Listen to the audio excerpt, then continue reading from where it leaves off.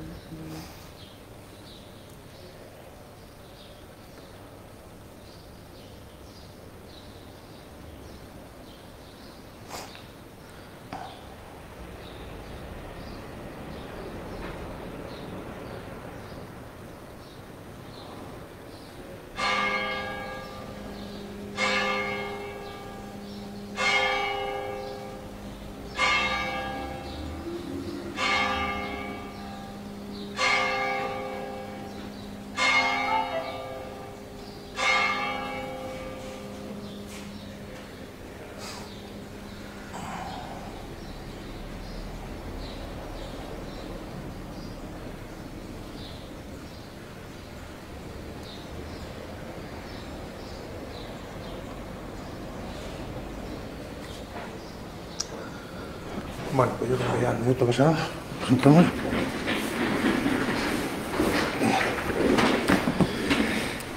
Bueno, pues nada, hecha un poco la introducción al Pleno, vamos a empezar con él, con el orden del día.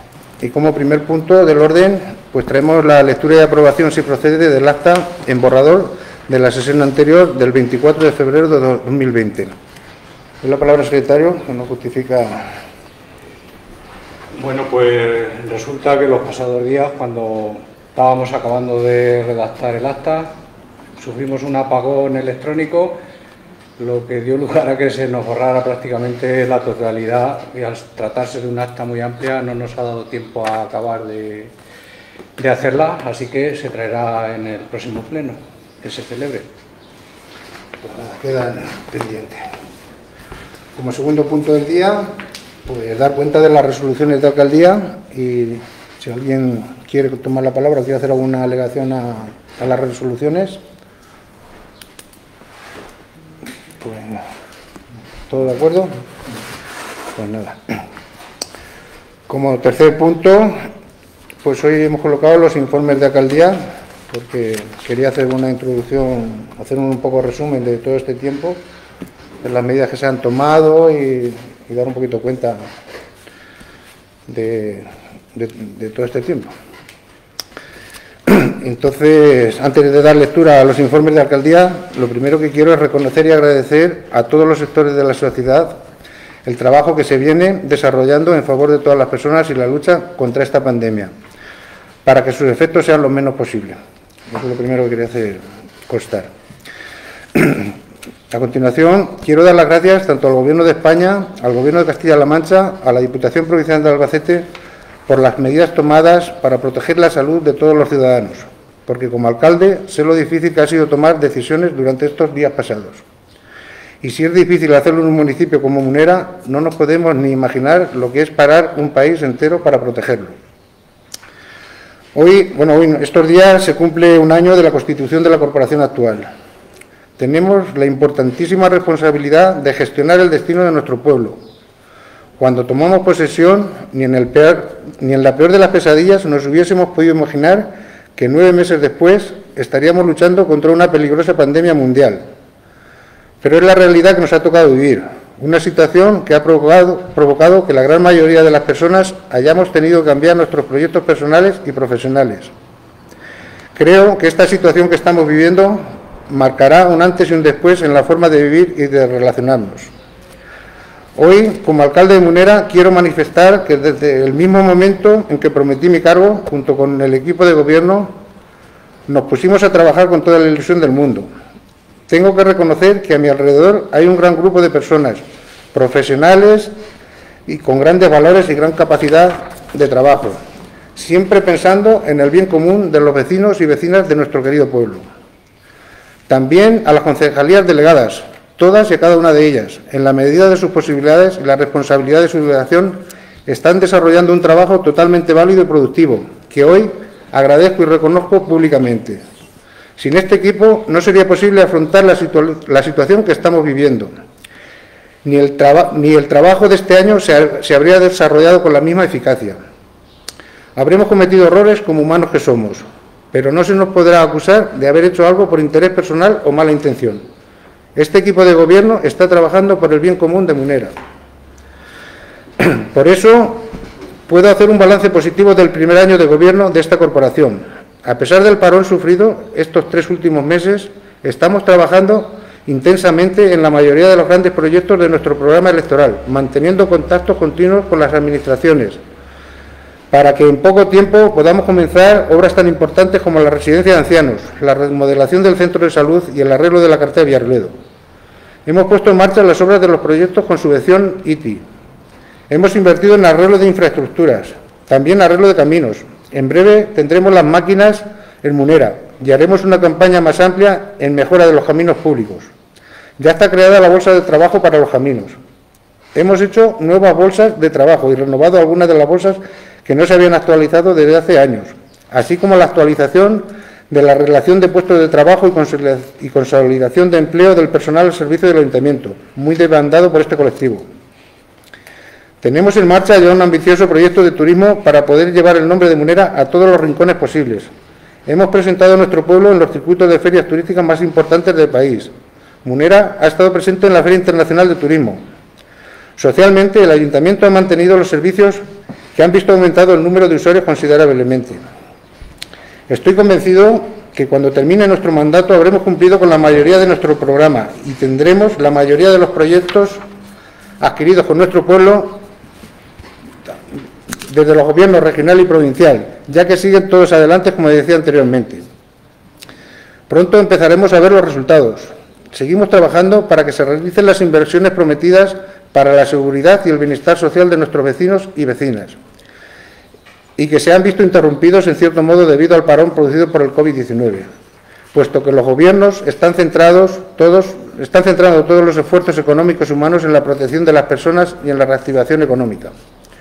Con este fin, desde el Ayuntamiento de Munera también hemos tomado una serie de medidas excepcionales desde la declaración del estado de alarma para proteger en la medida de lo posible a nuestros vecinos y vecinas.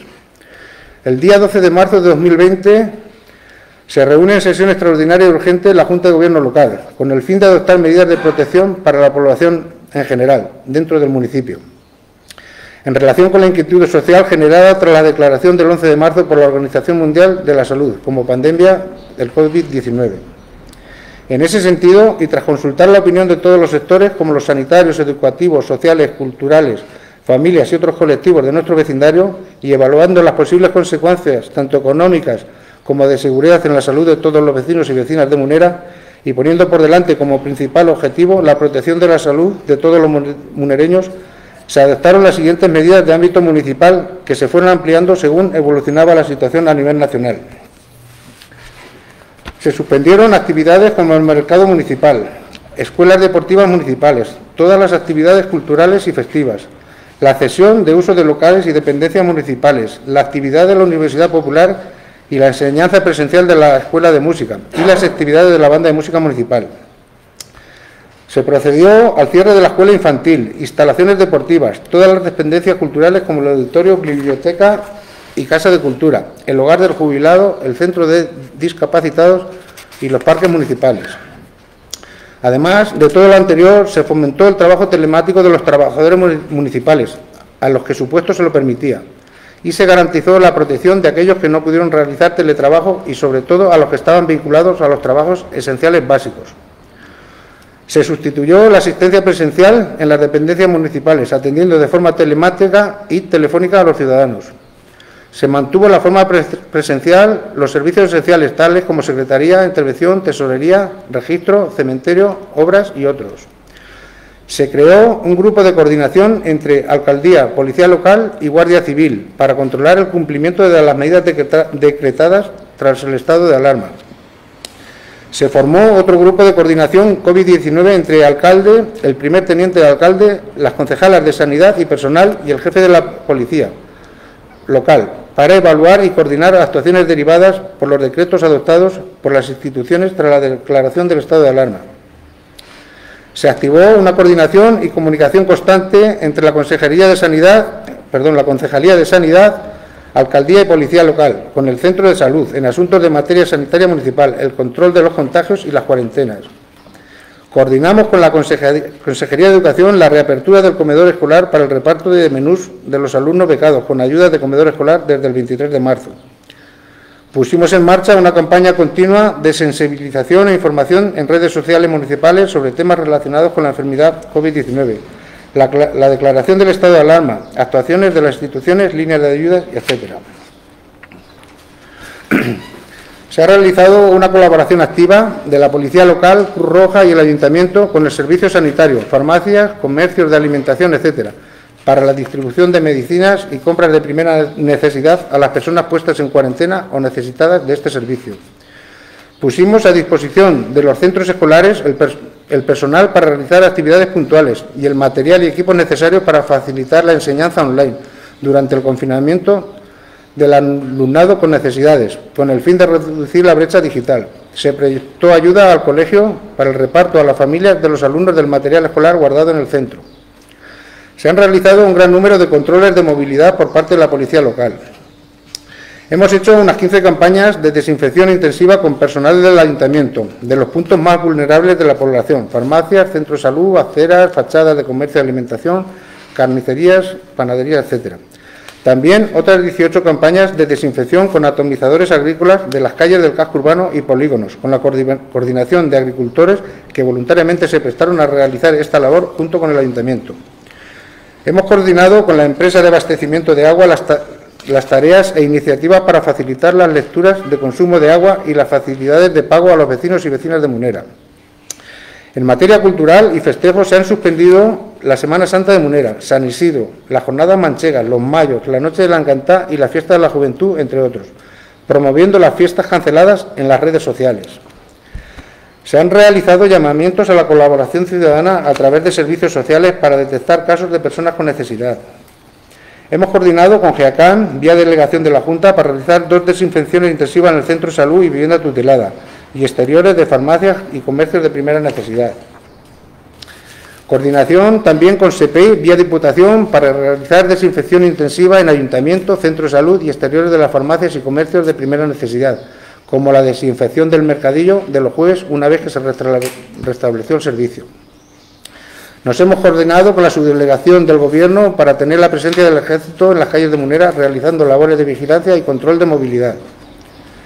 El Ayuntamiento ha puesto a disposición del movimiento voluntario de Munera las cuentas bancarias municipales para poder hacer aportaciones y donaciones destinadas a elaborar material sanitario.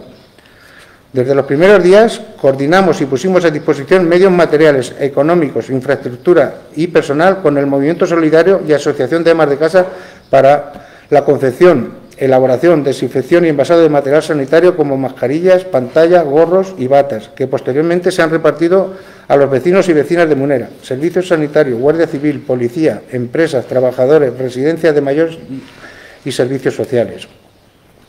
Adquirimos para, poder, para poner a disposición de los trabajadores y trabajadoras municipales test de estudios de contagios por COVID-19, con el fin de utilizarlo en caso de sospecha de contagio de algún miembro de la plantilla. Se ha dotado a todos los trabajadores municipales de material EPI para que puedan desarrollar su trabajo con todas las medidas de seguridad e higiene necesarias. Se puso en marcha una campaña desde la Biblioteca Municipal para el fomento de la lectura durante el confinamiento, para los más pequeños. Se puso en marcha el concurso Yo me quedo en casa, dirigido a los alumnos y alumnas del colegio del instituto. Incluso tuvimos una, una, actuación online de la banda de música municipal con motivo de la Semana Santa y se activó la megafonía municipal para eventos culturales durante el confinamiento.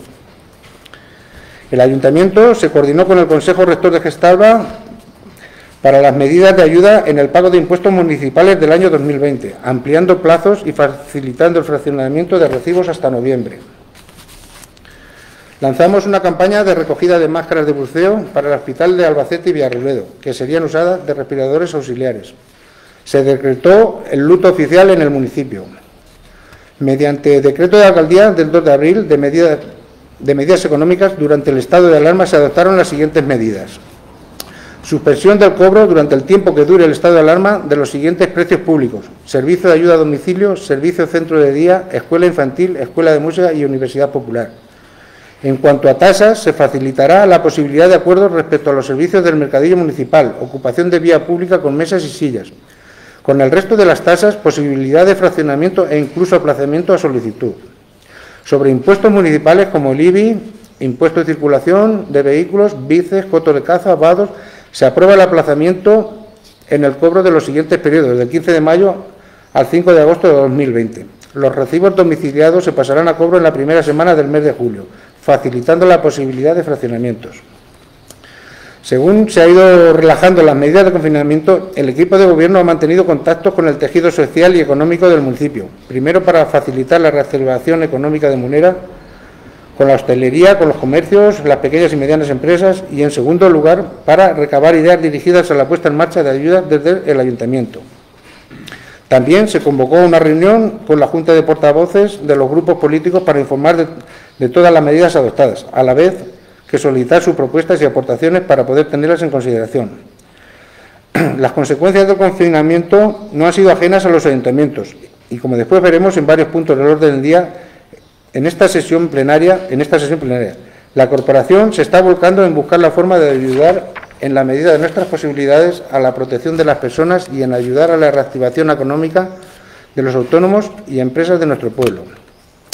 Hoy traemos al Pleno unas medidas pensadas en el bien de nuestros vecinos y vecinas y de sus negocios. Espero y deseo contar con el apoyo de toda la corporación en pleno, porque pienso que en estos asuntos no debe intervenir intereses partidistas. Debe primar el intento de ayudar a todas las personas que de una forma u otra se han visto afectadas por la pandemia. Nuestro pueblo ha demostrado estar a la altura de las circunstancias y ha demostrado ser un municipio con una sociedad solidaria y comprometida. Creo que nosotros, que somos sus representantes políticos, hoy debemos estar a su altura. A continuación, voy a hacer un breve resumen a los miembros de la corporación sobre las propuestas que traemos al pleno de hoy, entre otras sobre el desarrollo y la ejecución del presupuesto del ejercicio 2020 y medidas de ayuda económica y social. La situación de emergencia sanitaria y por ello el decreto de estado de alarma y sus siguientes prórrogas provocadas por el coronavirus está ocasionando algunos desajustes en las previsiones, tanto en el estado de ingresos como en el, como en el de gastos del vigente presupuesto. Por parte del equipo de gobierno, ante esta situación, desde el punto de vista económico y presupuestario, se han previsto como situaciones extraordinarias y que por lo tanto necesita una, atención extraordinaria y urgente para todos los vecinos y vecinas del municipio, del municipio afectados y que hemos dividido en cuatro grupos. Primero, ayudas económicas y en especie a familias en situación de vulnerabilidad. Segundo, ayudas y apoyo al tejido económico y empresarial afectado. Tercero, el empleo. Y cuarto, atención prioritaria a medidas sanitarias y de salubridad e higiene. En cuanto al primer grupo, se están aprobando las ayudas económicas en especie, electricidad, alimentos y calefacción, a todas y cada una de las propuestas que nos han sido presentadas desde los servicios sociales del Ayuntamiento y se seguirán atendiendo. Con respecto al segundo grupo, sobre ayudas y apoyo al tejido económico y empresarial, proponemos al Pleno la aprobación de una partida económica extraordinaria por importe de 30.000 euros para ayudas individuales a las empresas y autónomos de la localidad afectados por el cierre o la disminución de ingresos, con un importe individual de 350 euros. Se fomentará y se apoyará y se dará prioridad a cuantas actividades, propuestas o iniciativas se pueden organizar, bien por parte del Ayuntamiento o bien por particulares, que supongan un interés para intentar la reactivación del comercio, hostelería, servicios y en general el resto de actividades hasta conseguir el funcionamiento previo a la crisis. En cuanto al tercer grupo de iniciativas que presentamos, estamos potenciando las contrataciones de trabajadores y trabajadoras a través del plan de empleo, con ocho personas contratadas, el plan de local de empleo, con ocho personas contratadas, continuándose hasta agotar el presupuesto de la partida e incluso su posible incremento si fuera necesario. Además, tenemos el plan regional de empleo con 13, con 13 trabajadores ya contratados durante seis meses y el plan especial de empleo de zonas rurales deprimidas, el conocido como PER, con 16 trabajadores, que previsiblemente podrá iniciarse a mediados de julio durante tres meses. Con lo que estaremos dando empleo a 37 vecinos y vecinas de Munera. Con esto, lo que se pretende permitir es que, por la vía del empleo, podamos dar solución también a problemas que puedan tener las familias de nuestro pueblo. A este respecto, tengo que decir que hasta la fecha el Ayuntamiento está asumiendo la totalidad de las nóminas de todos los trabajadores, aun a pesar del cese de actividad de varios servicios municipales por el COVID-19. Por último, desde el equipo de Gobierno estamos llevando un estricto control sobre posibles casos, con la colaboración del Centro de Salud local, asumiendo la desinfección periódica, periódica en vías urbanas y zonas vulnerables, aportando medios materiales, económicos y humanos al servicio del voluntariado que se ha generado en Munera durante el confinamiento y activando protocolos de prevención y seguridad en todas y cada una de las actividades que se están organizando. En cuanto a la estimación económica relacionado con el presupuesto municipal, los datos son los siguientes. Disminución en ingresos por tasas y precios públicos. Esto es una, una valoración que se ha hecho, una estimación aproximada. Más detalladamente, la estimación en la disminución de estos ingresos sería la siguiente. Impuestos sobre construcciones, 5.475 euros. Cuotas en la Escuela de Música, 10.003. Escuela Infantil, 12.490. Universidad Popular, 7.198. Verano Infantil, 3.601. Espectáculos, ferias, fiestas y otros, 18.437. Pabellón Deportivo y Pistas, 1.162. Piscina Municipal, 11.642.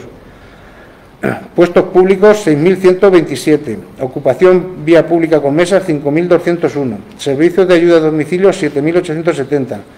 Usuarios del centro de día 30.762. Disminución en ingresos por convenios y otros 74.306. Esta disminución detalladamente sería el centro de día 38.306, la escuela infantil 4.000 y servicio de ayuda a domicilio 32.000. Gastos extraordinarios por COVID-19 atendidos hasta la fecha o que se prevén atender, 60.000 euros. Hasta la fecha los gastos son productos de limpieza y desinfección, 1.696, servicios extraordinarios de prevención, 4.183, ayuda económica a familias, 1.953, gastos extraordinarios, telas, mascarillas, gel hidroalcohólico y otros, 7.639. Otros gastos previstos pueden ser la ayuda al tejido económico y autónomo autónomos, pequeñas y medianas empresas con 30.000 euros. Gastos posteriores al día 24 de junio, 14.526. Por otro lado, tenemos los mayores ingresos. Uno, de los mayores ingresos son los, los donativos que ha habido por COVID-19, 4.912 euros. Disminución de gastos por supresión de festejos, 47.200. Aquí decir que las cartas de pago justificantes de los donativos por COVID-19 se encuentran preparados en el ayuntamiento para su entrega a los donantes que lo soliciten. También se prevé ayudas económicas por parte de la Junta de Comunidades y Diputación Provincial que por el momento no están cuantificadas. Se propone también, bueno, se propone hacer uso del, del remanente de tesorería para financiar gastos por el COVID-19 por un total de 105.900 euros. El remanente de tesorería a 31 de diciembre de 2019 asciende a la cantidad de 650.988 euros. Se prevé la autorización por parte de Hacienda de hacer uso en un porcentaje del 20%, que podrá ser utilizado para gastos extraordinarios por el COVID-19. En este caso, el importe disponible será de 130.197 del que se utilizan 105.900 euros para la modificación del crédito, por lo que existe un resto de 24.297 que podría ser usado en este ejercicio si las circunstancias lo aconsejaran. Como decía antes, tengo la esperanza de que esta corporación se muestre unida en las medidas que vamos a adoptar, puesto que en esta ocasión, más que nunca, debemos estar a la altura de nuestros vecinos y vecinas. Bueno, pues hasta aquí es el informe que quería hacer de, de todo lo que se ha venido haciendo las previsiones que tenemos y tal. Quiero hacer otro informe, este ya, y es que el próximo domingo vamos en, bueno, estamos intentando de hacer un acto institucional y bueno, que sepa que lo estamos preparando y queda toda la corporación invitada. El acto en sí va a ser una misa funeral en las aledañas allí del cementerio, más un acto institucional también de una misa funeral por todas las personas han fallecido en este tiempo, que no han tenido un entierro, digamos, digno pues se merece. y el acto institucional pues de reconocimiento también a todos los sectores de la sociedad municipal que han estado trabajando y luchando de cierta manera contra el COVID. Y de momento por ahí pues este es el informe que yo quería hacer. Bueno, pues dicho esto, pasamos al cuarto punto del orden, que es la moción de que presenta el Grupo Popular sobre la reapertura de la piscina municipal en la temporada 2020. Nada, aquí doy la, la palabra al portavoz del Partido Popular para que nos, dé cuenta de la moción. Vale, muy bien, gracias, Desi. Eh, eh, este, este, mm, esta moción la metí ya hace, hace algún tiempo, entonces eh, basaba básicamente en dos caminos. Uno era la normativa que se iba a aplicar, que en aquel momento no había nada, así que ahora sí que es cierto que ya parece que está bastante regulada la cosa, entonces en ese aspecto pues la normativa es la que es y, se ha quedado un poco desfasado eso porque ya os, como os digo fue, fue metido antes de, de que tuviese normativa. El segundo punto es, es que lo veo más fundamental, que es el tema de si, si va a haber algún tipo de subvención para, para, digamos, aclimatar las condiciones de la piscina municipal y los gastos que va a suponer extraordinarios de un año normal. Porque yo sí que es cierto que en algunos pueblos he tenido compañeros que, que han preguntado y, sí que parece que puede haber algún algo para poder solicitar y beneficiarse de, de ello, en este caso el pueblo. Si se puede ahorrar algo, pues entonces, de, es, la moción en este caso quedaría al punto número dos para el tema de subvenciones, porque el punto número uno, como ya os digo, no, normativa no queda, queda ya, está bastante, bastante específica. Entonces, no sé si lo sabréis y si no lo sabéis es para, para que hagáis un poco eso. Vale, pues nada. Si ya está todo, Eh, eso es. no está el portavoz de Unida, pues le paso la palabra al portavoz del Partido Socialista para dar contestación a y basar el sentido del voto. Bueno, pues muchas gracias, eh. Como bien dice César, pues eh, sí que había una normativa anterior a, a la declaración del estado de alarma y de, de la, de la pandemia, que es la 72-2017 que hacía referencia en, en la moción. Sí, efectivamente. Y ese decreto es el que basa prácticamente toda la normativa eh, higiénico-sanitaria de, de, la puesta en marcha de la piscina y mantenimiento. Entonces, por ahí, es verdad que se ha ampliado más, porque se ha ampliado con un informe que hizo el Ministerio de Sanidad para ponerla en marcha, que fue el 16 de mayo. Eh, otro decreto que es el, creo, el 19 barra 2020 de la Junta de Comunidades, que es donde se establece el criterio para la nueva normalidad. Y eh, pues nada, en principio lo que se aconseja y lo que se regula es el mantener la distancia entre los usuarios y la desinfección que ya es la misma que se viene haciendo durante otros años porque según los informes el virus no se transmite por el agua. Entonces, sí que el ayuntamiento ha establecido un, un protocolo de seguridad y con ese protocolo es con el que se va a trabajar este año con la piscina. Sobre todo para mantener las distancias, se va a parcelar la piscina para que los usuarios no estén en contacto unos con otros. En el agua aparentemente no hay peligro por el que está desinfectada con hipoclorito sódico y por esa parte eh, eh, está todo legislado. Por eso, como decías, el punto primero de la moción no, no tiene sentido. En cuanto al punto segundo, pues eh, sí que se han anunciado ya que va a haber ayudas generales para las administraciones, para los ayuntamientos, que servirán pues, para, para sufragar gastos ocasionados por el COVID. Entonces ahí entrarán tanto en temas sanitarios, educación, eh, infraestructuras. Eh, ahí podríamos vincular algún gasto de la piscina que surja de forma extraordinaria. Conforme está eh, planteado el punto 2 de la moción, estaba vinculado a, a que la Junta de Comunidades eh, dispusiese de una normativa jurídica, como en este caso la normativa realmente no implica que haya un gasto eh, en materiales eh, que ellos exijan, pues en principio no tiene sentido y yo creo que debería caer la, decaer la, moción. Y que no os quepa duda que desde el grupo municipal, desde el equipo de gobierno, eh, vamos a pedir todas las subvenciones que, que la Junta lance para hacernos cargo de los costes que puedan superar, ya que te digo, en cualquier ámbito municipal relacionados con, con la pandemia. Sí que me gustaría decir que si desde luego no hubiese habido una legislación previa, hubiésemos apoyado la, la moción, incluso hubiésemos presentado una, pidiendo pues eso, que hubiese una legislación para, para, la apertura de la piscina, pero en realidad hoy en día no es necesario. Por eso el voto del grupo municipal va a ser eh, negativo. Bueno, lo, entiendo en el primer aspecto. En el segundo, yo me refería a subvención específica para el tema de piscina, no por COVID. Por si hay algo que sale específico para eso.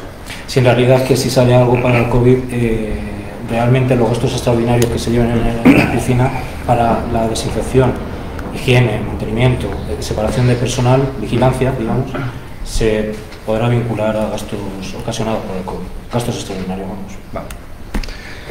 Bueno, pues ya no hay más. Entonces, pues vamos a pasar a, la votación del punto. ¿Votos a favor de la propuesta? Dos. ¿Votos en contra? Y abstenciones ninguna, entonces, ¿no? Serían siete a favor de contra. Por lo tanto, queda, queda rechazada la propuesta de, moción presentada. Bueno, pasamos al, punto número 5, que es la aprobación, si procede, del Plan Económico y Financiero para el ejercicio 2020-2021. Aquí decir que tras los datos que se desprenden de la liquidación del presupuesto ordinario del ejercicio 2019 y de conformidad con la Ley Orgánica 2 de 2012, de 26 de abril, la estabilidad presupuestaria y sostenibilidad financiera que establece entre sus objetivos garantizar la estabilidad presupuestaria y la sostenibilidad financiera de todas las administraciones públicas el Ayuntamiento de Munera debe elaborar un plan económico financiero que permita en el año en curso y el siguiente el cumplimiento de los objetivos o regla de gasto. La no presentación o la falta de puesta en marcha en el plazo del plan económico financiero o del plan de reequilibrio constituye una infracción muy grave en materia de gestión presupuestaria. Este plan no supone recortes en el presupuesto. Y aquí le voy a pasar la palabra al, al secretario, en este caso como tesorero, que nos va a explicar un poquito de lo que es este, este punto, para que todos lo entendamos y pasarlo a, aprobación si procede. Eh, buenas tardes. Buenas tardes. Eh, como bien has hecho, como bien ha hecho el alcalde hincapié en su introducción, el tema de la sostenibilidad financiera y de la regla de gasto son dos principios fundamentales que exige la Ley Orgánica 2-2012. En este sentido, y una vez que se, que se aprobó y se dio cuenta de la liquidación, el ayuntamiento, por una parte, sí que había cumplido el principio de estabilidad presupuestaria, con un superávit de 18.500 euros, pero, sin embargo, la, regla de gasto eh, había un incumplimiento en cuanto, en cuanto a la misma. La ley dice que automáticamente un incumplimiento en alguna de estas dos situaciones obliga a realizar un plan económico y financiero. Que en el caso de que hubiese sido estabilidad presupuestaria supondría un plan económico con medidas y en el caso de la regla de gasto es un plan económico sin medidas. Por lo que Hacienda directamente cuando se pasa la liquidación te da los datos, tú le tienes que decir en qué porcentaje se van a administrar tanto los ingresos como los gastos en los próximos dos ejercicios, con lo cual el incumplimiento que en el caso del ejercicio 2019 fue por importe de 284.356,48, permite automáticamente que para el ejercicio 20 y para el 21 los gastos computables más la tasa de referencia sean incrementando esta cantidad. Es como si dijéramos, sin ningún tipo de medidas, eh, se asume el compromiso y la responsabilidad de, una vez que hemos subido el incumplimiento en el techo del gasto, con la cantidad que da, no, pasarnos, eh, sí que automáticamente no podemos, no debemos de, hacer este incumplimiento en el ejercicio 20 y el 21.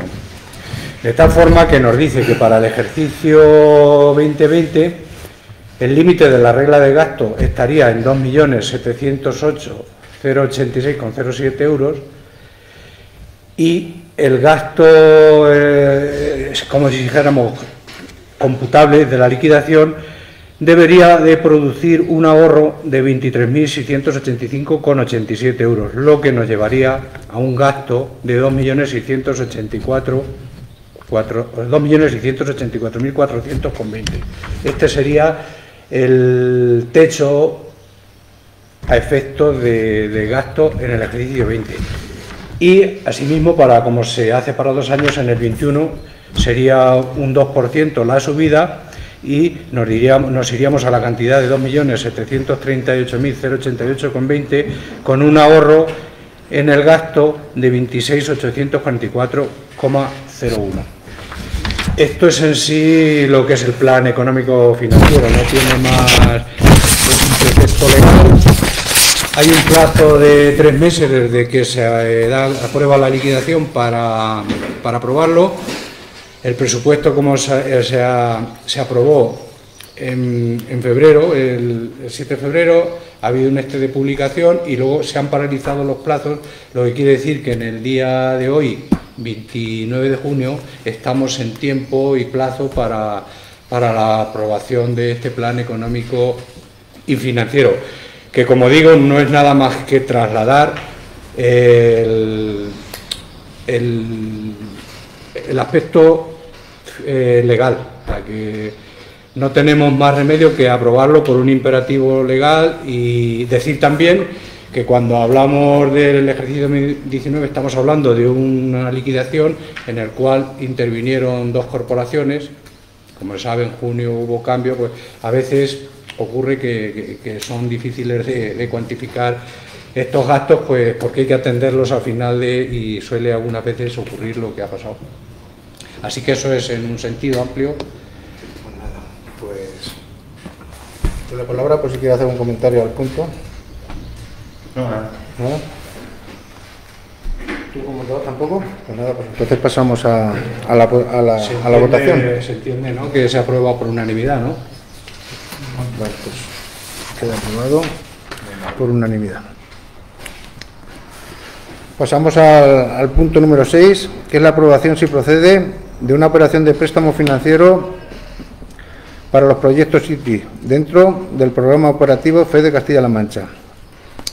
Aquí decir que vista la necesidad de obtener recursos financieros para atender inversiones necesarias de las convocatorias City aprobadas por la Junta de Comunidades de Castilla-La Mancha, ya que el cobro de estas subvenciones se recibirán mucho más tarde de su ejecución y justificación en este punto se propone la formalización de una operación de crédito a largo plazo con un importe de 443.349,77 euros.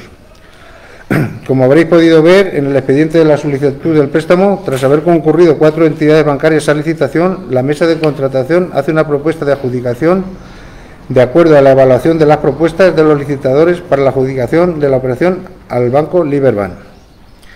Este punto, pues le voy a pasar la palabra al concejal de Economía y Hacienda para que nos lo, para que nos lo ponga más detalladamente. La palabra? Muchas gracias, ingeniero.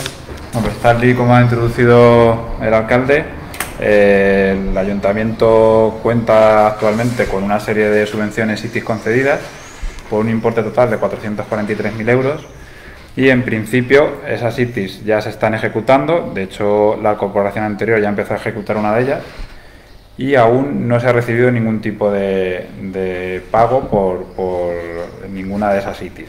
Sin embargo, el ayuntamiento ya ha tenido que asumir ciertos costes y además no hay previsión ni, se sabe ni se puede cuantificar cuándo se van a empezar a recibir las subvenciones en sí.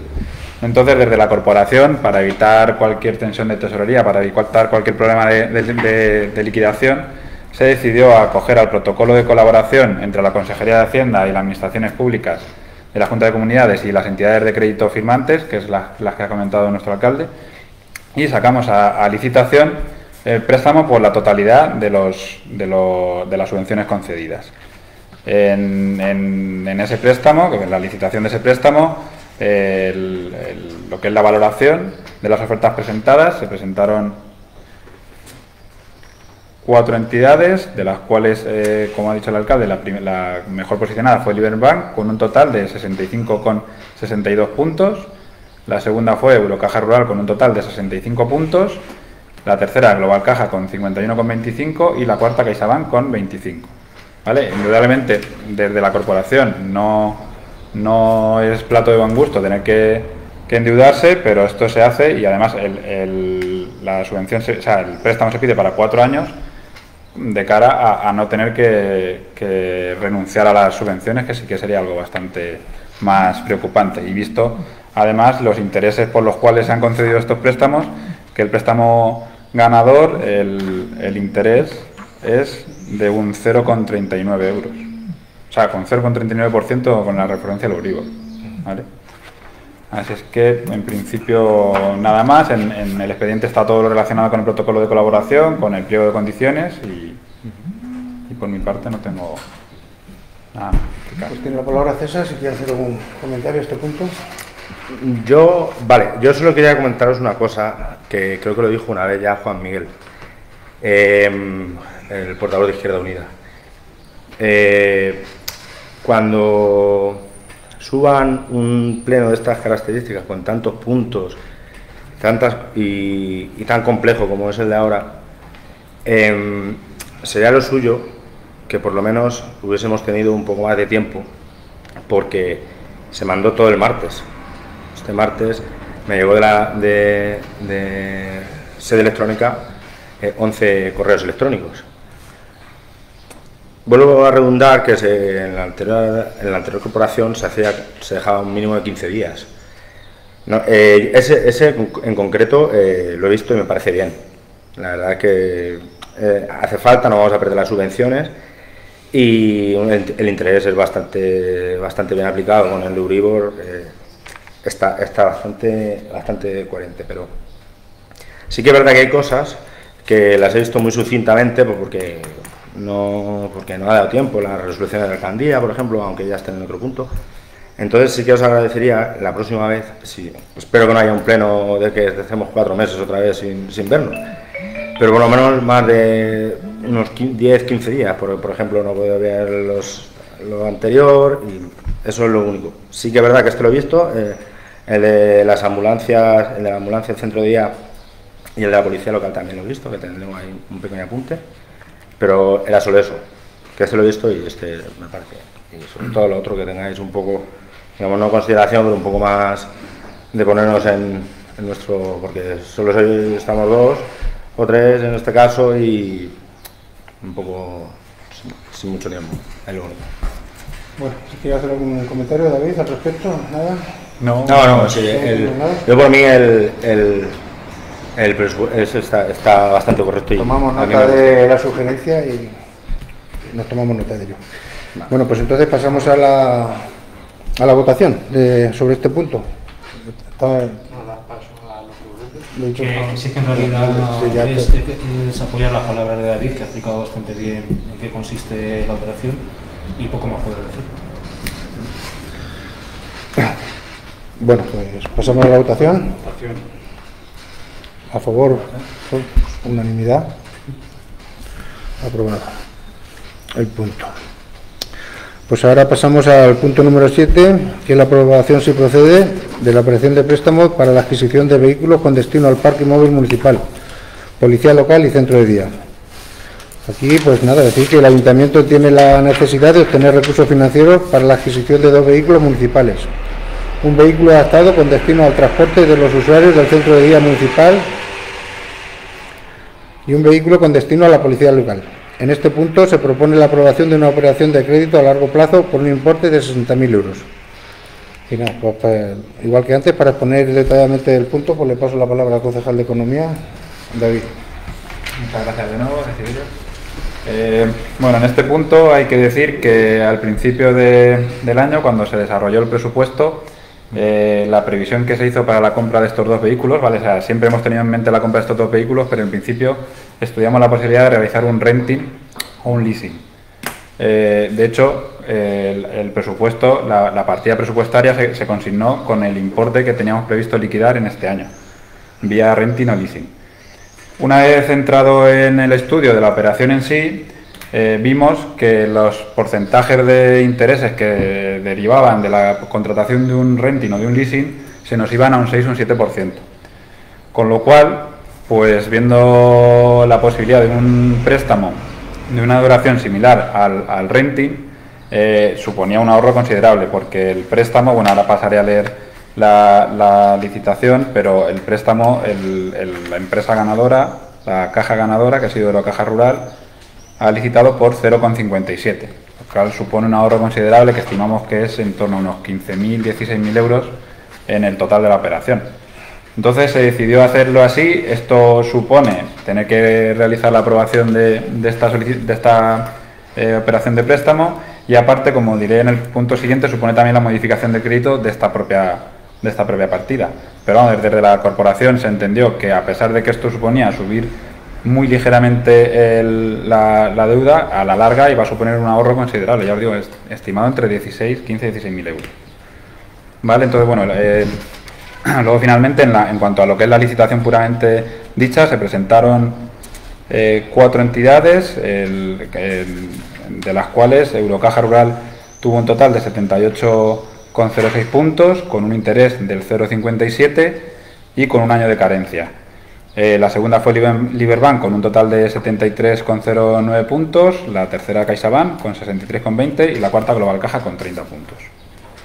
¿Vale? Y por parte de la corporación, pues en principio no hay, no hay mucho más que... ¿Tiene la palabra, César? Sí. Em, yo tenía una duda sobre el, el pliego condicional de la licitación del vehículo del centro de día. Eh, es una, es una, digamos, una sugerencia. Ya sé que el pliego y, la licitación está adjudicada, pero yo he visto que aquí hay una puntuación en el tema de, de la entrega en 91 días de 30 puntos que la veo un poco sobreestimada. ¿En qué, ¿En qué condición? Porque digamos que la puntuación de servicio de revisión gratuita a cuatro años del segundo licitador, el que quedó segundo en el concurso, solo fueron 10 puntos. Entonces, mi pregunta es, aparte de ser algo más, más económico, que ya no estamos en el aspecto económico, aunque sean unos 4.000 euros, pero no, no, no va por ahí el tema, sino el servicio de revisión gratuita durante cuatro años a un vehículo que se utiliza... eh, No sé si hacerte una puntualización. Dime. Creo que esto podría a lo mejor pasar a- al último punto de ruegos y preguntas. Ah, bueno, vale, vale. Quiero- Ah, no, entiendo porque es una pregunta que me están formulando Sí, o que no te vamos a poder, creo, contestar en este El, el momento. punto es la aprobación de la operación Sí. de préstamo, Vale, no, no de la licitación. Vale, vale, Vale, de los entonces, vehículos, vale. que si ahora Pues lo paso, lo pasas después en ruegos, tomamos O nota. sea, ahora es el, el punto Vale, de la creo que- es el. Creo que no procede así la, exposición en este momento. ¿vale? Entonces, eh, David, ¿tienes que hacer algún comentario a lo dicho? No, bueno, le iba a comentar ¿Alguna eso, que, que en este punto estamos eh, ahora- votando exclusivamente lo que es la operación presupuestaria y del préstamo y, y lo otro lo... no, Pues Antonio, portavoz, ¿algún Nada, comentario? Por ¿Nada? mi parte, igual que antes, David es quien lleva los números y David sabe de lo que está hablando, así que ha hecho una buena exposición, poco más. Pues nada, pues entonces pasamos a votación del punto. ¿Votos a favor de, la unanimidad? Pues aprobado por unanimidad el punto 7. Pasamos al punto 8, que es la aprobación, si procede, de la modificación de créditos número 1 al presupuesto ordinario de- del ejercicio 2020. Aquí decir que debido a la, a la crisis del coronavirus, como ya he explicado en el informe de alcaldía, durante este ejercicio 2020 el ayuntamiento tendrá una disminución de ingresos por tasas y precios públicos, convenios y gastos extraordinarios, Por otro lado, existe una disminución de gastos por bajas en la consignación del presupuesto en festejos y actos culturales, además de nuevos ingresos no previstos. Por eso es necesario realizar una modificación del presupuesto a través de suplementos de crédito y créditos extraordinarios, a la vista de los ajustes de determinadas partidas. Pues nada, aquí también le voy a pasar la palabra al concejal de Economía y Hacienda, a David, para que nos lo exponga el punto. Gracias, gracias nuevamente, Desiderio. Eh, pues nada, tal y como ha desarrollado Desiderio en los informes de alcaldía, pues prácticamente el, presupuesto que se hizo a principios de año pues ha sufrido muchísimas modificaciones en, cuanto a la previsión de, ingresos y gastos. Bueno, no me voy a poner a, repetir lo que ha dicho Desiderio, simplemente os voy a explicar eh, eh, cuantitativamente lo que, es, lo, que lo que supone la variación de estas partidas. Por una parte tenemos los suplementos de, crédito, es decir, partidas que se han ampliado, ¿vale? que han sido la de elementos de transportes y servicios generales, que son las partidas destinadas a los vehículos, se ha ampliado en 50.000 euros. Luego la ampliación de nichos del cementerio se ha ampliado en 30.000 euros. Bueno, esto pues todos sabemos que por desgracia es algo que tenemos, teníamos pendiente de dejar más para adelante, pero hay que cometerlo cuanto antes, pues dada la situación actual. Eh, luego la partida de servicio de prevención de riesgos laborales ha habido que aumentarla en 4.000 euros, pues todo el tema EPIs, todo el tema de pantallas, se ha subido considerablemente el, gasto. En la partida de ayuda de emergencia social eh, también se ha ampliado, es una partida que se creó eh, este año como una de las novedades en el presupuesto y dada las solicitudes que, han llegado y de cara a, cubrir todo lo que queda del año, pues se ha ampliado hasta 10.000 euros también la partida, en, contra, bueno, siguiendo la misma línea que la anterior, la de, atenciones benéficas asistenciales, se ha subido otros 3.000 euros. Eh, la de productos de limpieza y desinfección se ha subido 5.000 euros. El gasto en desinfección de, las, de, los edificios municipales ha subido considerablemente durante estos meses y hay previsión de que de aquí a final de año ese aumento se, se mantenga al menos en parte. Luego tenemos la partida de, reparación de caminos rurales, que esta partida, eh, bueno, no lo he comentado antes, pero esta partida junto con la del cementerio teníamos vista hacerla, además se, exponía en la memoria del, presupuesto, vía remanente de tesorería haciendo una solicitud a Hacienda. Con todo esto del COVID, por así decirlo, todas estas reglas han cambiado. Ahora Hacienda nos permite utilizar el remanente para el COVID, pues desde la corporación se ha decidido eh, no no tensar más la cuerda por, porque ya os digo que, para hacer el tema de los cementerios y de los caminos había que pedir eh, permiso, entre comillas, para poder utilizar ese remanente y para evitar que nos pudieran decir que no, hemos decidido financiarla con, créditos propios. Eh, luego, hay una partida también importante que es la de eh, jurídicos contenciosos de registro, que esa partida es una partida que se ha ampliado notablemente. En principio estaba en torno a unos 8.000 euros, ¿no? Vale, este, eh, esta partida es la partida con la cual, eh, bueno, empiezo a contar un poco la historia. El, ayuntamiento tenía una serie de parcelas principalmente rústicas sin registrar y había un, un follón bastante considerable. La corporación anterior ya realizó un inventario, un inventario de todo tipo de, parcelas rústicas y, urbanas del, ayuntamiento y esas parcelas faltaban por inscribirlas, muchas de ellas. Nosotros teníamos previsto hacer esa inscripción a lo largo de los cuatro años, porque era un coste considerable, pero debido a la parada del COVID, desde el registro nos propusieron hacerlo este año, durante estos tiempos, de, estos meses de parada, con un ahorro considerable, cercano al, 50% de lo que nos había costado durante los cuatro años. Nosotros pues decidimos no perder la oportunidad y además también de, paso solventar un problema que lleva eh, arrastrando el ayuntamiento muchísimos años, ¿vale? Porque con esto lo que conseguimos es eh, registrar y poner en orden muchísimas parcelas, gente que ya las tenía adquiridas, que las pueda registrar a su nombre y además que en el futuro el ayuntamiento tenga la capacidad de, vender esas parcelas. Vale, por eso, esa, por eso esa partida que no tiene nada que ver con el COVID, eh, de forma colateral hemos tenido que aumentarla también. Luego también se ha aumentado la, la partida de consorcio de servicio de ayuda a domicilio en 18.000 euros. Todo esto hace un total de 188.000 euros. Aparte, se ha creado un crédito extraordinario para la subvención de, a las empresas eh, para reactivación de, la economía local de 30.000 euros. lo cual hace pues, en total una suma de 218.000 euros. Estos 218.000 euros se, financiarán vía bajadas de otras partidas, en total en la partida de, de, festejos, que este año estaba dividido en varias partidas, se, rebajarán 47.200 euros, ¿vale? en el informe están desglosadas todas las partidas que se han eliminado. Eh, también se han aumentado los ingresos vía donativos en 4.900 euros y aparte eh, tenemos, por un lado, el préstamo de adquisición de los vehículos, que son 60.000 euros, que también financiaría este aumento de partidas, y la solicitud del, uso del remanente de tesorería, que serían 105.000 euros. O sea que eh, tendríamos un aumento de, bueno, una eh, modificación de créditos de 218.000 euros, cubiertos con una financiación del mismo importe, 218.000 euros. ¿Vale? En principio... Mm, no tendría nada más que, comentar. Bueno, pues paso la palabra al portavoz.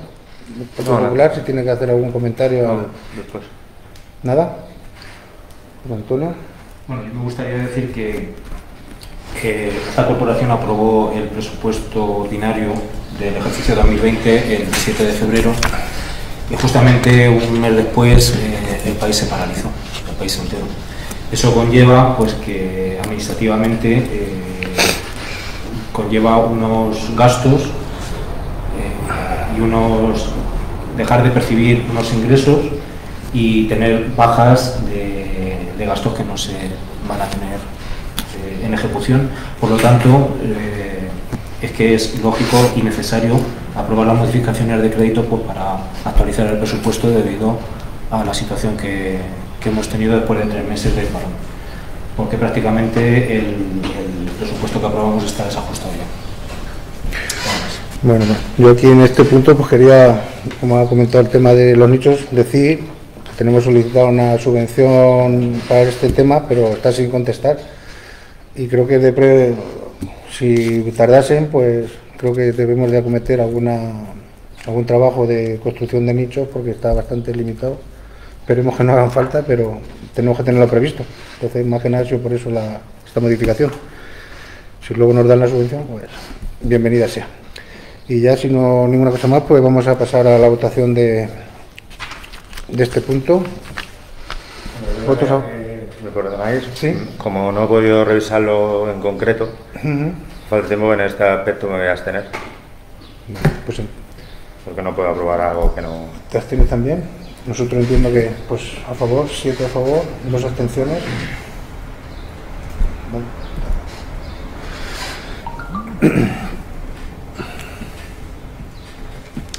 Bueno, pues nada, pasamos entonces al punto número 9, que es la aprobación, si procede, de la, ordenal, la Ordenanza General de Subvenciones. El Ayuntamiento de Munera no dispone de una ordenanza que regule las posibles subvenciones que se puedan conceder es necesaria la aprobación de una ordenanza adaptada a la norma vigente. Bueno, pues para poner este punto de, del orden, le voy a pasar la palabra al portavoz del Partido Socialista, José Antonio, primer teniente alcalde, para que nos lo, lo, ponga. Gracias, alcalde. Bueno, pues eh, voy a hacer un, breve resumen de, lo que es la ordenanza que traemos al Pleno, para que quede constancia en el Pleno, por no leer la ordenanza entera. Entonces, eh, tiene como objetivo, esta ordenanza tiene como objetivo la regulación del régimen jurídico de las subvenciones que otorga el Ayuntamiento. Para esto, en su articulado se contempla las normativas reguladoras para poder otorgar las subvenciones y los requisitos exigidos mediante la aprobación de convocatorias anuales o mediante el procedimiento especial de concesión directa. El procedimiento general para la convocatoria de subvenciones será mediante concurrencia competitiva fijando los criterios de otorgación y la ponderación de estos. Para esta valoración en la ordenanza se especifican los puntos que se podrán utilizar como criterio, por ejemplo, la valoración objetiva de actividades o programas propuestos teniendo en cuenta el interés general, el grado de consecución del impacto social, cultural y o económico, la adecuación en proyectos o planes municipales, programas que incidan en la igualdad de oportunidades, el empleo general, la existencia de infraestructuras, eh, la existencia de infraestructuras y equipos necesarios, razones de solidaridad y un largo etcétera. Las convocatorias de subvenciones municipales tendrán créditos presupuestarios con cargo a lo que se concederán las subvenciones. Requisitos que, se deben, cumplir eh, que deben cumplir los solicitantes, modelo de solicitud, plazo de presentación, compatibilidad o incompatibilidad con otras subvenciones, eh, etc. Se regula el procedimiento de concesión de subvenciones, tramitación de expedientes, incluso de informes jurídicos y técnicos, fiscalización y resoluciones de la alcaldía para la aprobación o denegación de las subvenciones. Con esta ordenanza queda regulado también el procedimiento especial de concesión directa para aquellas subvenciones en que se acrediten razones de interés público, social, económico o humanitario, u otras debidamente justificadas que dificulten su convocatoria pública. En este caso, la actividad subvencionada deberá ser declarada de interés para Munera por el Pleno de la Corporación, que determinará las condiciones generales de la concesión. En la ordenanza queda regulado el procedimiento para la concesión de subvenciones mediante convenio. El ayuntamiento podrá conceder subvenciones de forma regulada a través de convenios en materias competentes de los servicios municipales cuando por causa justificada se dificulte su convocatoria pública.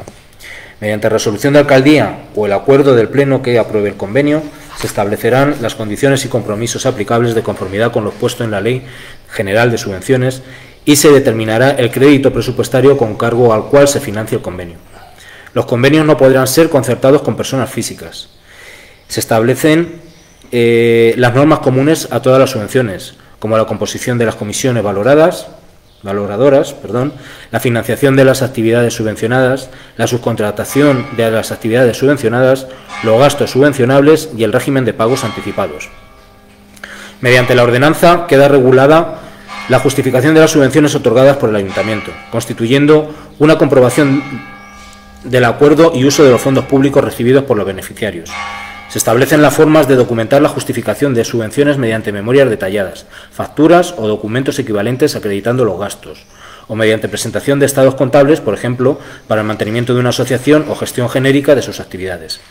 Se regula el plazo para la justificación y comprobación de subvenciones. En esta ordenanza también se establecen las causas de invalidez por supuesto de nulidad establecido legalmente o cuando exista carencia o insuficiencia de crédito, regulándose las causas, la naturaleza o el procedimiento de reintegro de las cantidades percibidas. Y por último, se regula el procedimiento de infracciones y sanciones según lo tipificado en la Ley General de Subvenciones, integrando el cuadro sancionador según la, clasificación de las infracciones tipificadas como leves, graves o muy graves. Este es el resumen de la ordenanza y bueno, me queda decir que ahora mismo las subvenciones que está dando el ayuntamiento no están reguladas de ninguna forma porque no tenemos una norma que establezca cómo dar las subvenciones y cómo regular y cómo vigilar y hacer un seguimiento de, estas subvenciones. Entonces lo que traemos es pues la aprobación de la ordenanza. Bueno, pues te paso la palabra, César, si tienes algún comentario que hacer al punto. Nada, lo mismo. Eh, mi abstención por por la misma transcripción de antes, por no tener el tiempo de material para estudiar lo suficiente Vale, pues nada, pues pasamos a, la votación del punto. ¿Votos a favor? Siete. ¿Y dos abstenciones? Pues siete, dos, abstenciones, en particular. Bueno, pues queda aprobado el punto y pasamos al, al punto número 10 que es la aprobación, si procede, de las bases reguladoras de la concesión directa de subvenciones destinadas a las empresas de la localidad para atenuar el impacto del COVID-19. Bueno, pues la medida que traemos en este punto de al Pleno está pensada para, el bien de nuestros vecinos y vecinas y sus negocios. Se trata de una convocatoria de subvenciones excepcional para paliar y actuar de manera inmediata ante las consecuencias derivadas de la crisis económica provocada por el COVID-19 con ellas, el Ayuntamiento impulsa la actividad económica en el término municipal de Munera, dando liquidez a las empresas y negocios del pueblo para ayudar en el cumplimiento de sus obligaciones empresariales, el mantenimiento y el mantenimiento de su actividad y, em-, y empleo, y amortiguar la reducción drástica de ingresos durante los meses del parón por el confinamiento. Queremos proteger el interés general de los vecinos y vecinas de Munera, dando soporte económico a los negocios de autónomos, microempresas, pequeñas y medianas empresas, para que, una vez finalizado el estado de alarma, desde el Ayuntamiento se ayude a una reactivación económica de nuestro pueblo lo antes posible. La cuantía destinada a atender las subvenciones asciende a un total de 30.000 euros. Se concederá una cantidad fija de 350 euros para personas físicas y jurídicas, con o sin trabajadores a su cargo, para compensar las pérdidas económicas en sus negocios ocasionadas por la crisis del COVID-19. Podrán ser beneficiarias de estas subvenciones las personas trabajadoras autónomas, las microempresas y las pequeñas empresas, cualquiera que sea su forma jurídica, que ejerzan una actividad económica munera que se hayan visto obligadas a la suspensión de su actividad económica por la declaración del estado de alarma o que no habiendo suspendido su actividad económica, hayan sufrido una reducción de su facturación en el segundo trimestre del año 2020 de al menos un 75% en relación al mismo trimestre del 2019. En la base se determinan los requisitos para ser persona o empresa beneficiaria, por ejemplo, y entre otras, estar dado de alta en el régimen de la seguridad social, no tener deudas pendientes con el ayuntamiento o estar al corriente de sus obligaciones tributarias con Hacienda y la seguridad social. La, concesión de estas subvenciones se hará en régimen de concesión directa. Se tramitarán y se resolverán por orden de presentación, en función de los requisitos que establecen las bases y hasta el agotamiento de la financiación disponible. El pago de las subvenciones se realizará en un pago único por la totalidad del importe, concedido mediante transferencia bancaria. Bueno, pues como veis, se trata de una medida extraordinaria necesaria para impulsar el tejido económico y empresarial de Munera. Hoy la corporación tenemos que estar a la altura de nuestros vecinos y vecinas. Aprobar esta base reguladora supone estar al lado de nuestros negocios, de nuestras empresas, cuando necesitan el respaldo de su ayuntamiento. Bueno, pues esta es la introducción de, este punto. Paso la palabra César, por favor, si tienes que comentar algo. Eh, este es, eh, sí, es lo, el, que hablamos en aquella reunión que tuvimos, digamos, ¿no? Fue, fue Sí, yo. Este lo beben, que, que era el tema de, de a los pequeños y medios, eso que estuvimos hablando. Pero no era otra cantidad. ¿Me preguntas? Eh, Creo que en la reunión no se habló de cantidad, se habló de fórmulas, de a ver qué se podía hacer. No, no, sí, no recuerdo sí, yo. Sí, que se habló de cantidad. Lo no, tengo apuntado. Se habló en un principio de una cantidad de 50.000 euros. Ah, en, la, partida. En la partida. En la partida. Bueno, hablamos, sí, pues podía ser esa, podía, no, no cerramos cantidad. Creía que decías, te referías a la, a la, a la que se daría como subvención. No, hombre, no, hablamos de... Sí, sí. Hablamos de no lo que se dé como subvención ni a cada persona, sino Nada, la partida que se va a destinar. Sí, sí, totalmente de acuerdo. Bueno, pues sí que, que, a lo mejor hablamos de cantidad sin concretar nada. Se, se, ha puesto esta cantidad, pero que es una cosa que, que se, si se quedase corta se podría ampliar perfectamente. Como tenemos la, ya hemos dicho que el remanente quedó eh, una parte como quedaba para ahí, pues si acaso hubiera que aumentarlo. O sea que por ese aspecto claro, no habría como problema. quedamos en aquella cantidad y luego quedaba el remanente, ya habéis dicho la otra Pues se hizo, nosotros hicimos después como una especie de cálculo, las empresas que podría haber, más o menos calculamos por ahí, pero que si se quedase corta la partida, se, se puede ampliar, ¿vale? Que por eso hemos dejado la parte del remanente, Claro, por, si, por si fuera necesario Vale, de, sí, de tener que, que ampliar. Vale, entonces ¿Vale? Eh, ¿Tú quieres comentar algo al punto, Antonio? No, que ¿No? Vamos a ver, bueno, sí. ¿Sí o no? Sí, sí. Quería decir, bueno, primero con lo que dice César, probablemente se hablase de alguna cantidad en, la Junta de Portavoces, pero sí que recuerdo que era una previsión, no era algo fijo. Y como dice el alcalde, eh, se dota esta partida de 30.000 euros, pero en cualquier caso, si hubiese que ampliarla en el futuro, porque vemos que, que hay mucha demanda de, de autónomos y empresas que solicitan la ayuda, pues nada, se volvería a traer a pleno y, se, estudiaría ampliar la partida, por eso no habría ningún problema. Quiero decir que esta, este punto es un punto muy, muy, muy importante para, para el pueblo porque es una forma de ayudar pues prácticamente a, a todo el tejido económico de Munera porque ahí entran comercios, entran todos los sectores, albañiles, empresas, microempresas. eh, entonces es repartir un poquito, dotar una partida económica y repartir un poquito lo que hemos podido rescatar de, de la modificación de crédito para ayudar a- al pueblo en sí. Y por mi parte, pues nada. más. Bueno, pues sí, no hay nada. ¿Quieres comentar algo más? Lo hablamos y... Vale, pues nada. Bien. Bueno, pues entonces pasamos a la, a la votación del punto. ¿Votos a favor?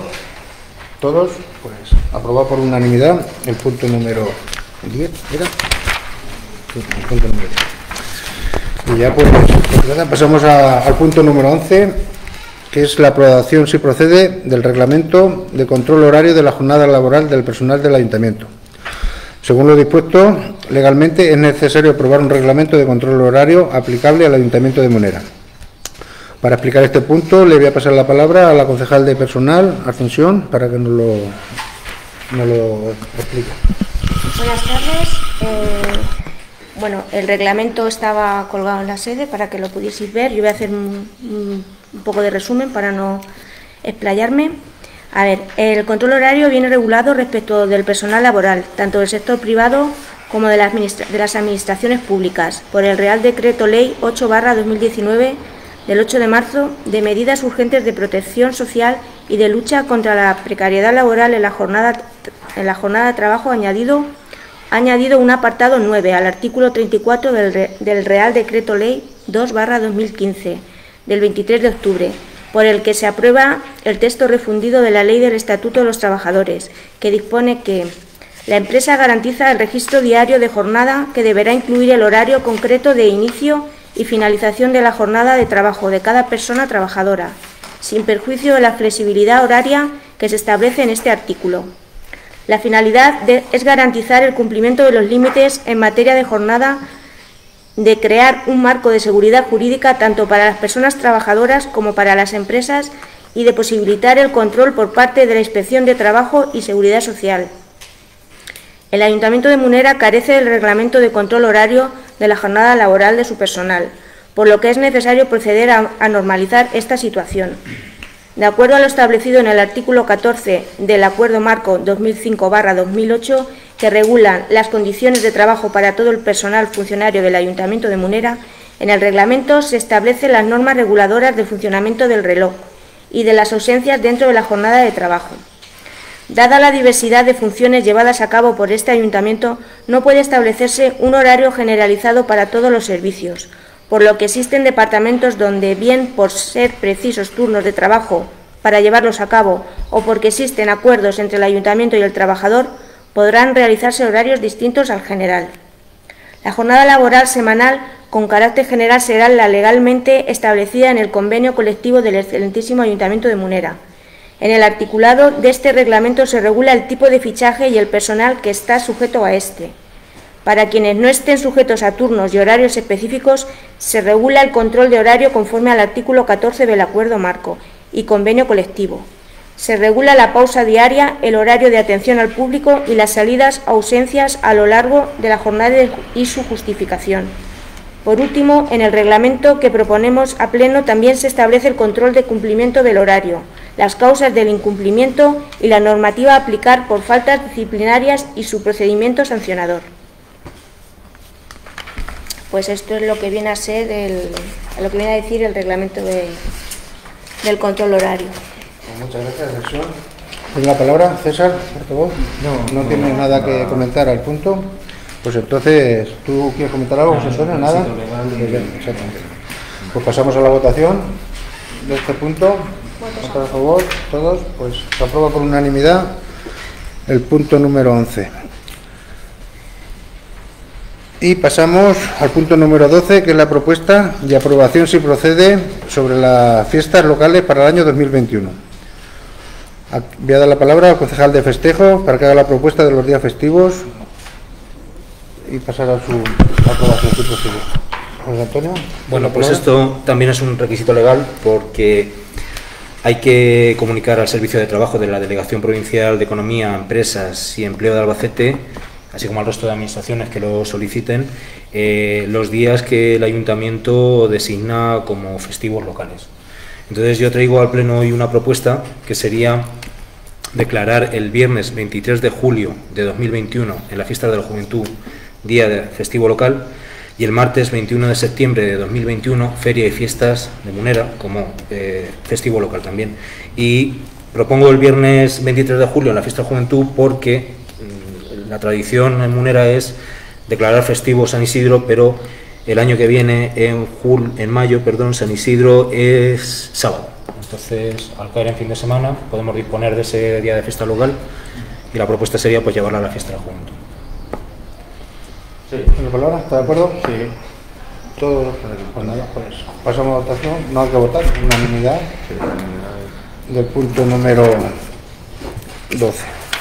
Y ya pues nada, pasamos al punto número 13, que ruegos y preguntas. Tiene la palabra portavoz. Sí, mm, A ver, Yo te pido la palabra, a ver si puede ser como, como para hacer un comentario pero respecto a lo que ha pasado con los puntos anteriores. bueno, pues entonces antes de pasar a ese, te doy la palabra. Eh, le quería hacer un comentario a César respecto a lo que él ha dicho, bueno, hacer un inciso de la convocatoria de la antigua corporación de 15 días. Yo estaba aquí y no se convocaba con 15 días de antelación y muchísimo menos. Se convocaba con el tiempo legal, si son tres días hábiles antes del pleno se convocaba. Yo puedo entender que para un pleno de que para aprobar presupuestos eh, me pidas más días o nos pidas más días, porque por la cantidad de cifras, partidas, pero para un pleno que se convocó el día 23 martes y estamos a 29 lunes, yo creo que no es la excusa para que en algunos puntos te hayas abstenido. Que la hayas querido poner, mm, vale, pero yo creo que no es la excusa. Por el tiempo, desde luego, se convoca en, en tiempo legal. Y con más tiempo, ya te digo, que la antigua corporación, porque yo estaba aquí. ¿Vale? ¿Terminado Vale. la extensión?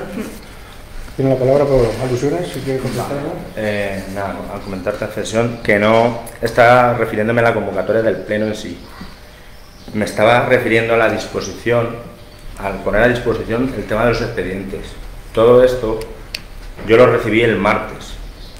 Este martes todos los expedientes llegaron 11 correos electrónicos a, a mi bandeja de entrada. Entonces, que es que no es un expediente muy voluminoso para 5 días, prácticamente o 6.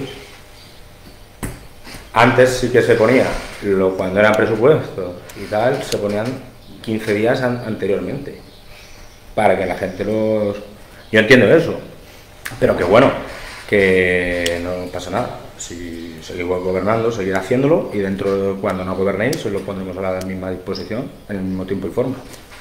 Gracias. ¿Vale? ¿Una cosa más? ¿Atención? No, no. ¿Ya está? Bueno, pues nada, entonces pasamos al, al punto de ruegos y preguntas y con la palabra, en principio, César. Yo tengo aquí varias preguntas que me han preguntado en el pueblo. Hay una cosa que, que no está clara, que yo no sé responder, y me la han preguntado varias personas y, y no tengo... Si, te, te corto un momento, si las preguntas las sabes destinar a, o bien al concejalía, al concejal Mm. 2 o... No, a ver, es que no sé de qué concejalía es. A ver, el tema, yo quiero que expliquéis eh, de una manera que la gente lo entienda, porque me han preguntado gente que no lo entiende, el tema de las terrazas. Sí que me has- dicho, eh, Desiderio, que se iban a, a fomentar las ayudas a las terrazas y tal. Pero que mm, nosotros cuando tuvimos la Junta de Portavoces hablamos de que se iba a devolver a final de año o alguna historia así. Entonces, ¿qué va a pasar con las terrazas? ¿Se van a pagar? ¿No se van a pagar? Eh, ¿Se va a pagar hasta el estado de alarma? ¿Hasta final de año? O, o- más o menos que lo expliquéis, porque me han preguntado y tampoco... Nosotros hablamos una cosa, pero parece ser que eh, por ahí la gente va diciendo otra. ¿Alguna cosa más? Eh, eso de una. Otra cosa que me han preguntado es eh, el tema de los deportes colectivos.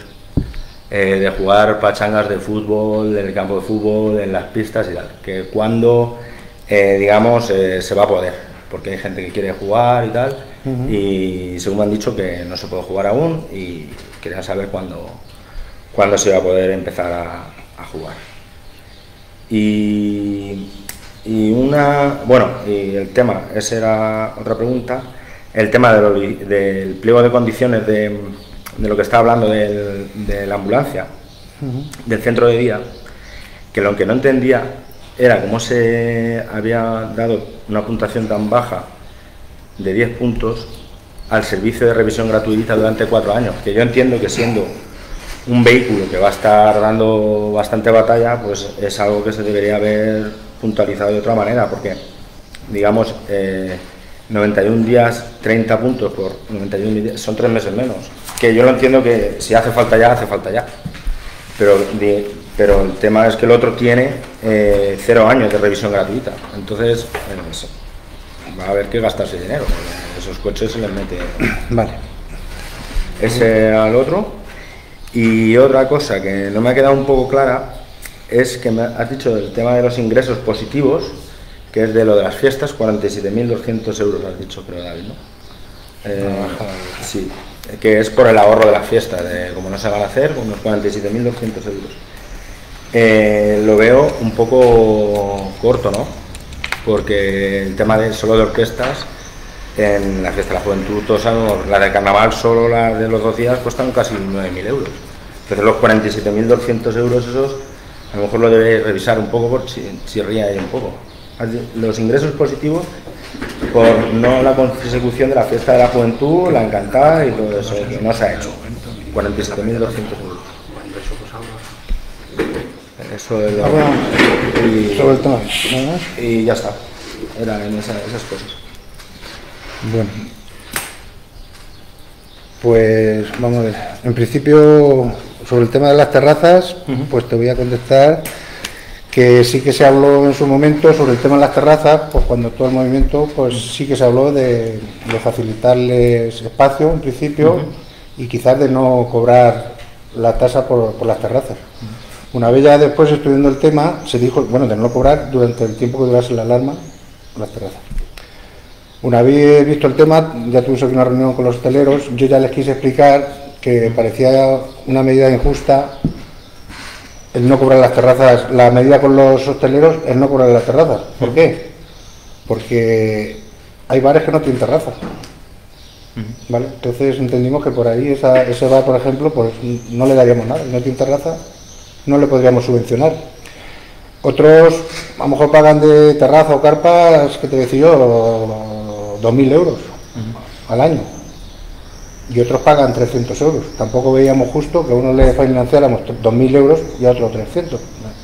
Pero tomamos la decisión de hacer el tema de estas subvenciones, de hacer una subvención general para todos. Ahora mismo con esa subvención quizás más del 50% de los bares puedan pagar la terraza, o sea, pagarían menos en, en sillas que la subvención que se les va a dar. ¿vale? Aparte de eso, sí que la parte proporcional del tiempo que hemos estado en estado de alarma sí que se les va a repercutir, que no se les va a cobrar cuando se le haga la liquidación del año. Si han sido cuatro meses que, que hemos estado en estado de alarma, que no han podido trabajar el tiempo que ha sido, la parte proporcional de lo, de lo que cada uno pague sí que se le va también a, a retribuir. Eso, en principio, te contesto en la cerrada, si te parece, si estás así contestado. Bueno, si es una medida que... Sí, ¿no? Yo es que la, la desconozco, entonces es algo que Sí, me bueno, pues al que- principio, al principio, ah, pues tenemos que ayudar, pues sí que se dijo, pues no vamos a cobrar las terrazas. Pero una vez ya después viendo el tema, creo que era injusto a unos, al que tenga terraza, no cobrársela y al que no tenga, pues como no tiene, ¿qué le damos? O, no sé, vimos que una manera de que las subvenciones llegaran a todos era ponerla de la forma que la hemos planteado y eso. Y con respecto a las terrazas, sí que las decisiones, el tiempo proporcional que hayan estado cerrados, cuando se haga la liquidación, si no la han estado utilizando, pues no cobrarse. Pero no todo el año, ¿no? porque aparte pienso que sería una medida injusta porque hay gente que la tiene todo el año, hay gente que no. Entendimos por ahí que es una medida injusta y lo que queremos es tomar una medida igualitaria para todos, que a todos le llegaran la misma proporción. Eso con respecto a las terrazas. Sobre deportes colectivos, pues ahí te puedo decir que... ¿Sí? ¿Quieres tú decir algo? ¿Puedo hablar yo de eso? ¿De lo de las terrazas? No, de los deportes. Bueno, yo ahí lo, lo pones claro, Vale. ¿tú tienes la ley ahí y tal? Vale, pues explícaselo. Bueno, mira, César, en cuanto a los deportes, eh, a mí me han hecho también la pregunta, bueno, hay gente que es aficionada, a sobre todo al fuguito, que lo que quieren que se abran las pistas de fuguito. Y no es porque el ayuntamiento no quiera autorizar el deporte, el ayuntamiento cuanta más actividades puede hacer la gente, pues mejor. Porque no se trata de paralizar el pueblo, lo que tenemos que hacer es vida normal, en lo que podamos, en la medida que podamos, e intentar arrancar poquito a poco. Pero es que ahora mismo, hasta el 15 de julio, hay en vigor un decreto, que es el 2420, del 19 de junio, de la Consejería de Sanidad, que establece todo lo que tenemos que hacer en Castilla-La Mancha. Y este, en los artículos 30 y 31, eh, regula la actividad física deportiva al aire libre y en instalaciones deportivas. Y dice en el punto 1 del artículo 30 que la práctica de la actividad física y deportiva no federada al aire libre podrá realizarse de forma individual o colectiva y sin contacto físico. Entonces, claro, esto yo ya he preguntado, he preguntado al jefe de policía local, he preguntado en otros ayuntamientos, y la forma de, en un partido de fútbol, evitar el contacto físico es complicado. Entonces, por lo menos hasta el 15 de julio, que la normativa está en vigor todavía y, y es la que manda, mm, el ayuntamiento no está capacitado para abrir las pistas deportivas. Aunque me gustaría, pero es imposible. Bueno, bien. Bueno, ya conocen la Sí. ¿Vale? Gracias. Eso no, se- no lo hemos permitido porque como no permite el contacto físico, ni baloncesto, ni fútbol, eso no, no hemos permitido que se eso. Con respecto a la pregunta del pliego de condiciones, pues eso nos tomamos nota porque yo no tenemos datos para poder explicarte en este momento. En el próximo pleno te Sí. explicamos el procedimiento que ha habido totalmente sobre ese No, tema. sí, el procedimiento yo lo veo correcto. El Ya. tema es La baremación. Es que la valoración de los cuatro, yo veo que es, porque son cuatro años de revisiones gratuitas, es que es importante, porque, y más en un coche de esos, que va a estar dándole caña. Entonces, yo ya por digo si- que eso, los pliegos de condiciones y todo eso lo han hecho los técnicos y tampoco Vale. sé en este momento. Es el tema de la valoración, está el tema del pliego de condiciones y luego abajo la valoración, sí, para que le pues deis ya una- te- una en el próximo pleno te damos toda la información que podamos de eso. Sobre el tema de fiestas, vamos, tú que llevas más controlado el eh, tema. lo- sí. lo- ¿sí? Puedo exponer yo lo de, Lo de las fiestas tú, Sí. bueno, sí como va en el presupuesto, venga, pues, porque es lo relativo a, a lo económico. sí, Porque bueno, en, en ese punto he pasado un poco por encima, he dado simplemente el, el importe total. Bueno, eh, los presupuestos de este año, una de las novedades que teníamos es que se, se desglosaron todos los festejos en partidas individuales para, pues para, como motivo de transparencia, que, que se entendiera mucho mejor lo que se, lo que se gasta en cada festa. Nosotros en estas bajas hemos eliminado ciertas partidas en su totalidad, como es por ejemplo la de la Garla de Reina y Damas, que eran 6.000 euros, la de San Isidro, que eran 4.000 euros, Semana Santa 2.800, representación de bodas de Camacho 7.600, carna- eh, premios de carnaval, que era bueno, un pequeño superávit de 2.000, y premios de San Isidro 2.300. ¿Vale? Pues bueno, carnaval ya se ha ejecutado. Y luego, de lo que es la fiesta de la juventud, se ha bajado algo más de, de la mitad de, la partida presupuestaria que había. Se ha dejado un poco de partida presupuestaria porque eh, fiestas de la juventud como tal no vamos a tener, pero sí que esa, bueno, eso lo puede explicar mejor José Antonio, pero sí que se quiere dar alguna potencia en esa semana, pues alguna actividad cultural, eh, y, y claro, para eso tenemos que tener una partida presupuestaria que lo soporte. Luego aparte, nosotros, bueno, pues nuestra feria, que es para finales de septiembre, aún no hay nada decidido, entonces no nos parece lógico el bajar esa partida cuando la feria a día de hoy sigue en pie. ¿vale? Entonces esa feria, esa partida está íntegramente intacta. ¿Vale? La, de, la de la fiesta. La de la fiesta de la juventud se ha bajado a, a algo más de la mitad, creo que es, ¿no? O la mitad. Y, y las otras que he comentado se han eliminado, no, no se han ejecutado. ¿vale? Entonces, simplemente por puntualizarte, porque claro, evidentemente, si tú miras el, el montante Claro, total eso, de, festejos Sí, sí, sí. Y, y- y haces una comparativa de todo el año, dices, pues, hay, hay mucha, Sí, sí, sí. hay mucho margen, pero ese, esos de momento se dejan ahí, si se pueden ejecutar, pues bienvenido sea, porque va a ser también una manera de reactivar la economía del pueblo. Si no se pueden ejecutar, pues se tendrán que hacer una modificación a futuro para, para financiar otro tipo de partidos. Bueno, pues gracias David. ¿Quieres la palabra? Solo ¿Para hacer un- una puntualización? Una pequeña puntualización, que lo que ha explicado David es- está muy bien explicado, ha quedado clarísimo.